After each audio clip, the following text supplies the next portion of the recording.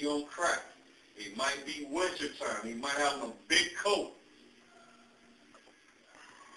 It may seem like your shots are not having any effect. Shoot to stop the threat means what?